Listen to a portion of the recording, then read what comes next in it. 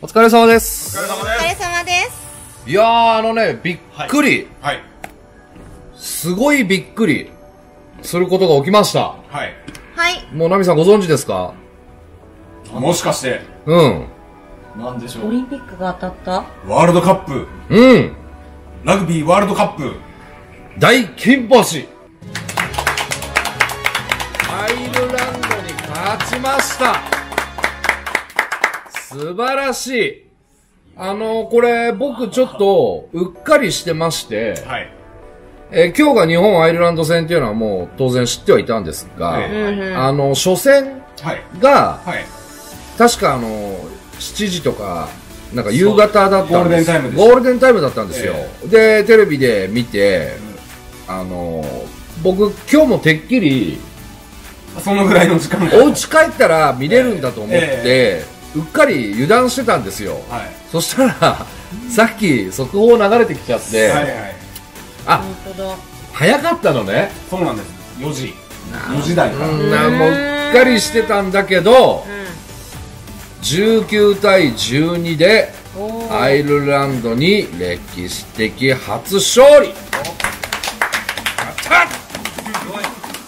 なんせね、まあ、僕もラグビーはそんなに詳しいわけでもないんだけれど、なんせあのー対アイルランド戦は9勝、あ、9戦0敗。はい。えあいそうだ今までの歴史では、だから本当に初勝利、そうですね。アイルランドに初勝利だったわけですよ。はい。ええ、でもアイルランドって言えばもうとにかくなんていうんですか体でかくて、もう鉄壁の守りというか、はいっていうね、はい。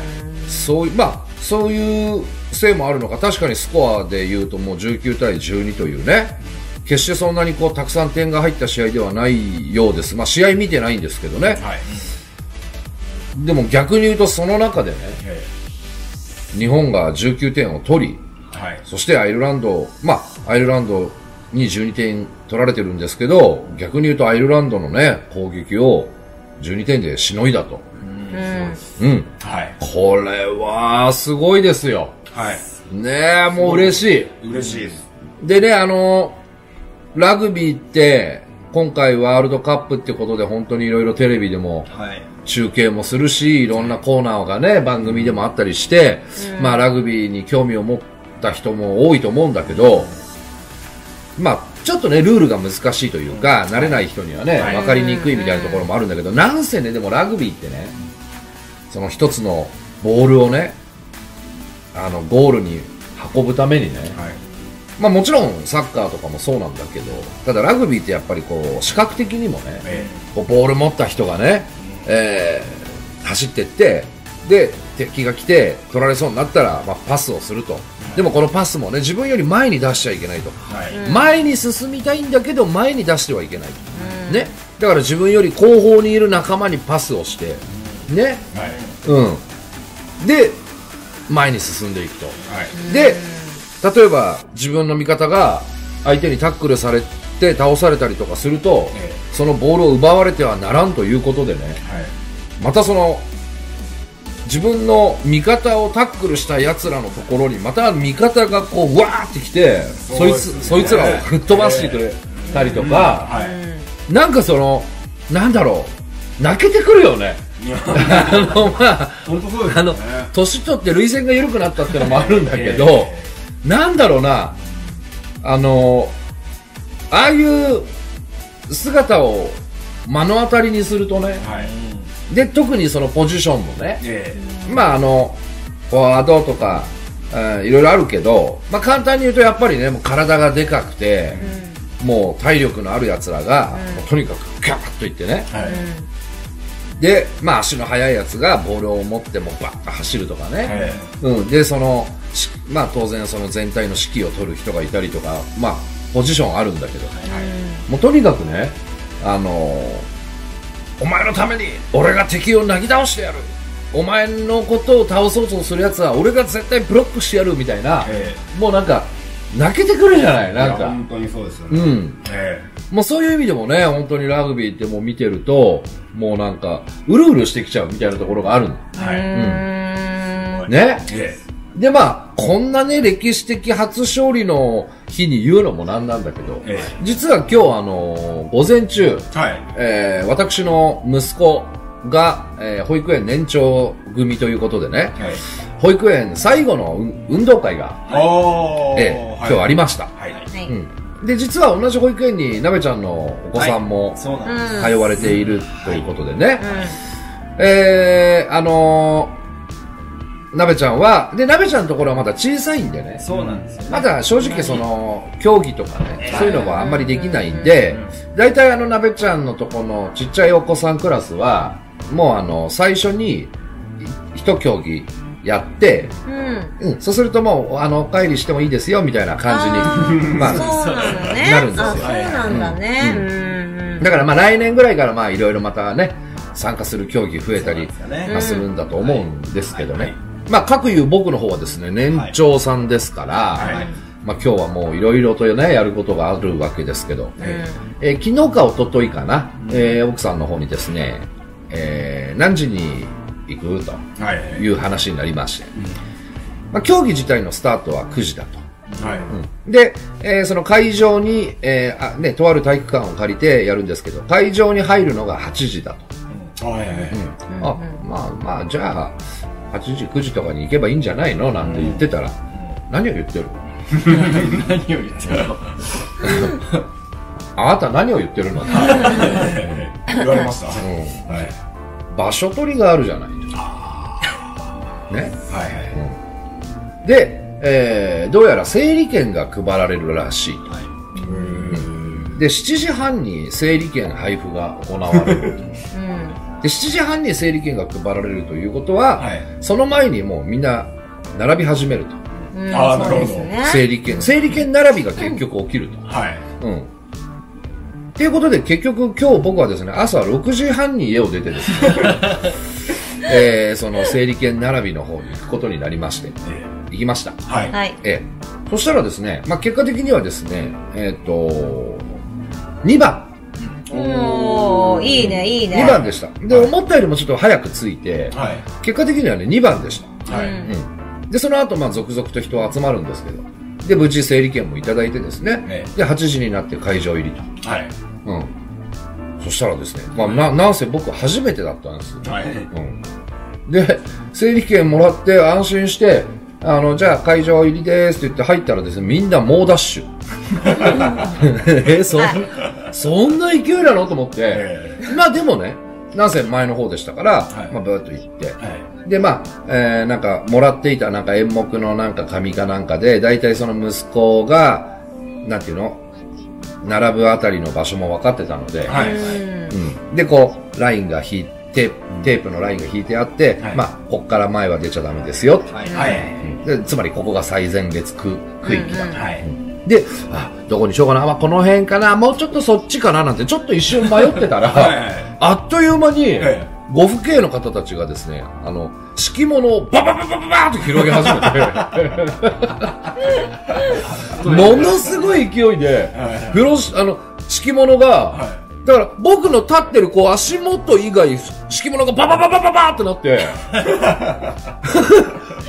あもう俺の敷物敷くとこないじゃん、みたいになって、結局ね、2列目だった。あ2番に行ったのに、2列目。2番に行ったのに2列目だったんですけど、僕ですね。すごいんですすね。ごいんだね。ねまあ、ただ、あの、結果的に言うと、僕は、あの、写真撮ったり動画撮ったりするんで、あの、動くわけですよ。うん。はいはいだから終わってみたら結局僕自身は、一回もその敷物敷いた区域にはいなかったんで、あまあ、あんま関係ねえなって話だったんですけど、うんうんまあ、あの、簡単に言うと、あの、例えば徒競走っていうんですか、まあ、いわゆる短距離走っていうんですか、はい。だったり、はい。あとは何ですかまあなんかちょっと他の園児さんたちと一緒になってやる、うんなんか競技があったり、はいうんまああとはなんかその、ななんですかね、小敵隊みたいなのがあったりとか、はいはいいろいろあったんです。で、うちの、あの、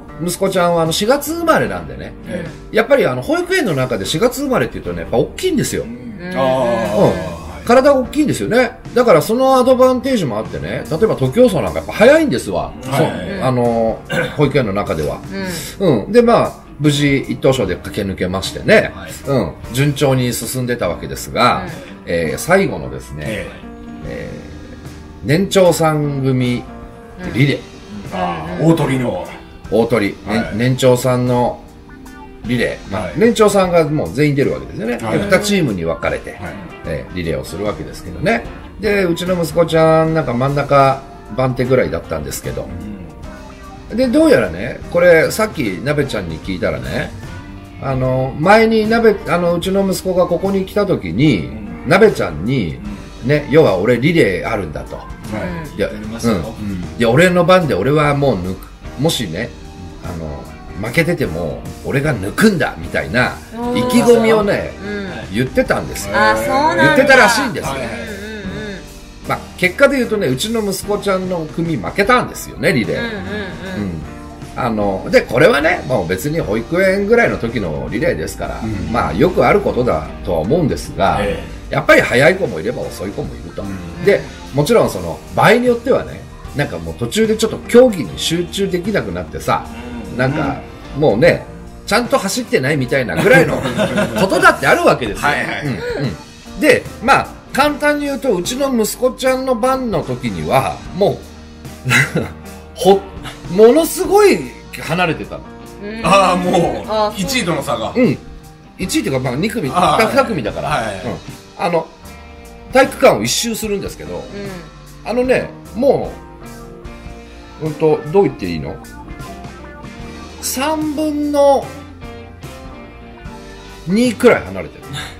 うん。おー、じゃあもう結構。え いや、まあ、そりゃ追いつけねえよなっていう距離なんですよ。まあまあでもね、例えば、それでも息子ちゃんね、一生懸命走りましたよ。見てて。うん、頑張って走りましたよ。まあもちろん、追いつくことも追い抜くこともできませんでしたけど、でも頑張って走りました。うんうん、まあなんなら差はちょっと縮まりました。んまあでも結果、息子ちゃんのチームは負けました。えはいうん、でも、うわーよかったよかった。うん。めっちゃへこんでめっちゃへこんでて、どどうしたと。ね。それまでだってもうめっちゃ楽しそうにやってたんだけど、はいね。めっちゃへこんでて。で、いいいいよ、もう頑張ったよ、お前頑張って走ってたよ、かっこよかった。よ、もうパパ全部全部見てたよ、それ、かっこよかったよ、みたいな。ね。号泣です。珍しいね、そうそう、ああんまりそういうのないんだけど、そう。だけどやっぱりあれだな。ああいうの見ちゃうと、ちょっとこっちもこうグッときちゃうな。あそうですよね。うるっときちゃうし、うん。まあ自分の息子に限らずね、やっぱりあのああいうちびっ子たちがさ、必死に何かをやってるっていうのはさ、またそれも結構グッときたりしいてや、感動しますよあの、いくつくらいから涙腺って緩くなるんだろうね。だ多分ラグビーだって、え俺なんかだと多分もっと若い時は、えだから単純にね、いけーみたいな。うん。まあ、こんなこと言ったら怒られるけど、ある意味ね、もう格闘技に近い、うーんスポーツですから、はい。そういう意味での興奮とか楽しさはあってもね、今は逆にこうなんか、泣けてくるんですよ、ああいうの見ると。いや泣きますよ。うん。えなんか、涙腺っていつから緩くなるんだろうと思って、えうん。なんかね、さっきお客さんともそんな話もちょっとしてたんだけど、なんかもうえらい涙もろくなってきたなと思ってさ、はい。うん。あるそういうの？い。やありますよ。あのーラグビーのあれであの先週の情熱大陸がリーチマイケルそうなんだ。俺それ見逃したんだ。ああもう、う泣きましたね あ、あ多分あんまり泣くところそんななかったかもしれないですけどそれでもいや俺は感動そう。しましたそれでも泣けてくる。ええうんな、最近なんか泣い泣いた、なんかある、ええそう言われるとな、ないないよあなべちゃんって意外とないよね。な意外とそうですね、うんなんかこう、まあ、映画見て泣いたとか、うん。なんかこう感動して泣いたとか、はいいや感動は、まあ、してるんですよないよね。ど いやあんま泣いたって話聞かないですまあね、聞かないよね。ね伊藤さんも意外とないよね。意外とないかかもしれないけど、私はあれだよ。なんか俺に、俺にさ、えあの、説教されて、ええ逆ギレしてブチギレて一人で逆ギレブチギレギレ泣きみたいな。それ昔ね、昔、昔あったよ。そう、あったけど、最近で言うと泣いたのは、うんあれだわ。去年のうん。代表の娘ちゃんのうんマラソン大会の時に、あのほら、代表がさ、V 作ってあげてたじゃん。作ってたじゃん。終わってから。その時に、娘ちゃんが、こう悔しくてこうやってしょぼんとしてる姿を見て、あ、運動会ね。あ、運動会だ運動会のね短距離、短距離でね。こう、なんかこう、うんすごい悔しそうにこう、うんしょぼんとしてるのを見て、うん。あの、涙が出た。うるうるうるうる、かわいそうに頑張ったんだな偉かったなと思って、こうなってるのが、あ、そう。そう、一番、最近。本当ですか？いや、そうだよ。なんかちょっといい人、ええいいいやいやいや人アピールがえ、違う違う違うう。違う。で、しかも、その、つけてた曲も、いい曲だったじゃん。あ、まあそういう、そ雰囲気に合そううね。そう、それにつられて、うんうん。ああ、音楽に釣られるっていうのがありますよね。ちょっとね、うるうる来たよね。うんうんまあうんね。それくらいかな。でも絶対、泣く漫画のところを読んでも泣かなかったですからね。泣かない。伊藤さん。えうん。わからんかったん、そこが。えちょっと頭おかしいんじゃないかと思って。違うよ。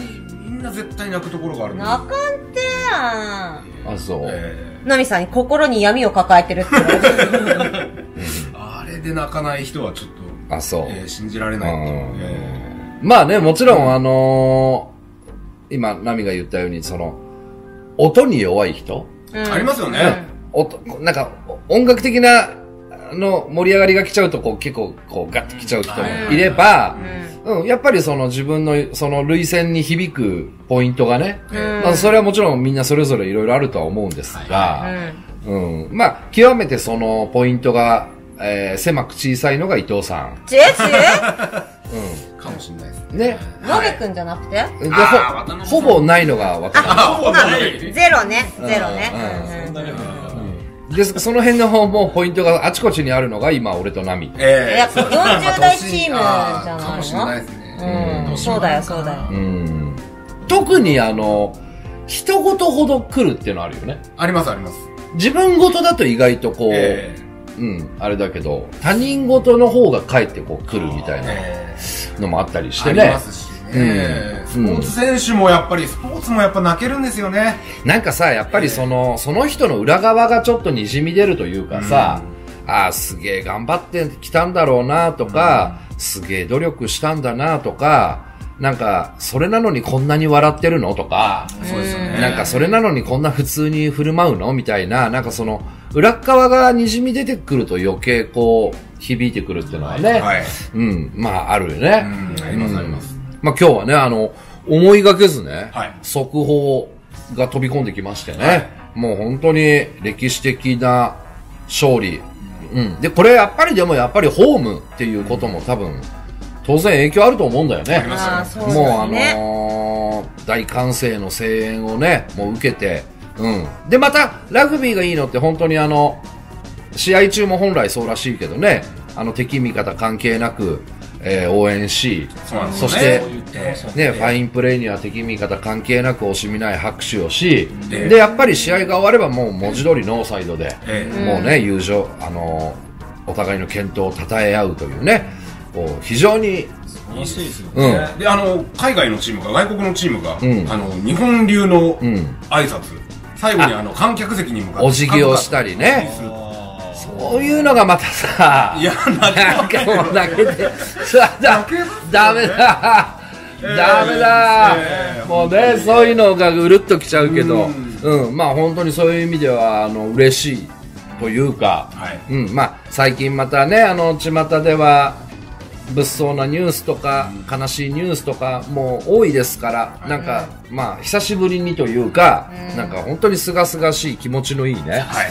えー、速報がね、飛び込んできて、で、まあ、ちょうどまた今日はね、うちと、えー、渡辺さんのところのね、えー息子さんが、えー運動会でね、あの、改めてなんかこう、そういう一生懸命頑張ってる人を見たりするとね、こう、じんとくるなというね、まあそんな気持ちを感じた一日になりました。はい。うん。でね、まあ今日は土曜日ということでね、えー、伊藤さん、奈美さんをはじめね、お店のスタッフにはですね、ちょっとあのわがままを聞いていただいて、まあおかげでね、僕はあの、年長さん最後の運動会をね、えー応援することができました。